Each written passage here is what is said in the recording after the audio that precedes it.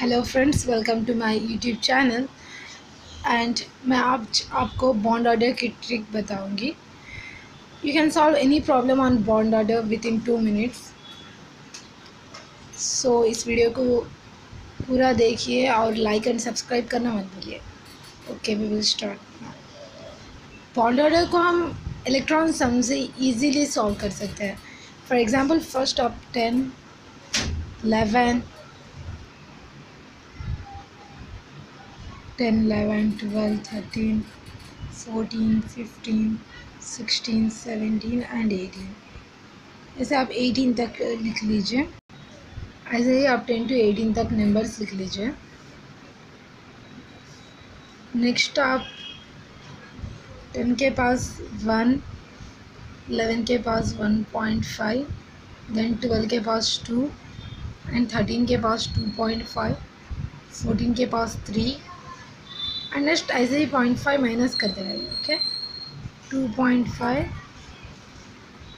two one point five and then one okay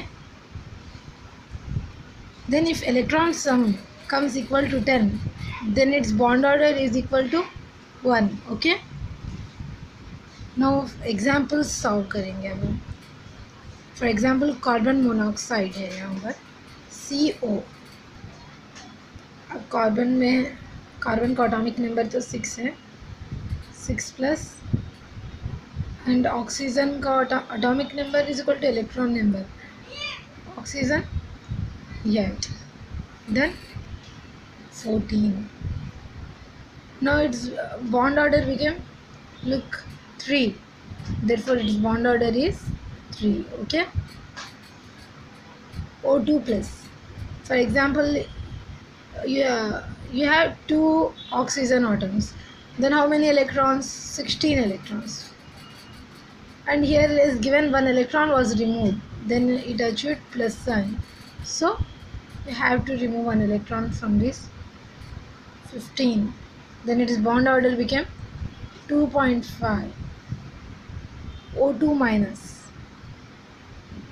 O2 minus 16 O2 if one electron has added then 16 plus 1 that is equal to 17 this bond order became 1.5 hope you like this video.